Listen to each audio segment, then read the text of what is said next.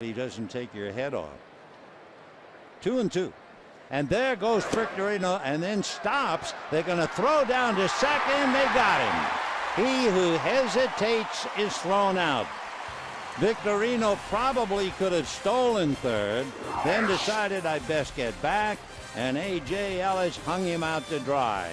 So the Dodgers get out of the inning, and it's still two to nothing Philadelphia.